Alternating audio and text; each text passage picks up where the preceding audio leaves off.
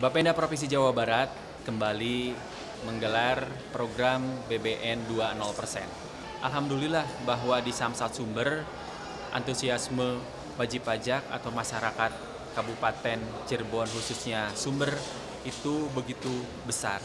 Hal ini terlihat dari jumlah wajib pajak dibandingkan dengan hari-hari biasa itu peningkatannya eh, sangat besar, sangat signifikan uh, prosentase yang dicapai oleh Samsat Sumber sampai dengan minggu kemarin kita sudah mencapai 87 persen.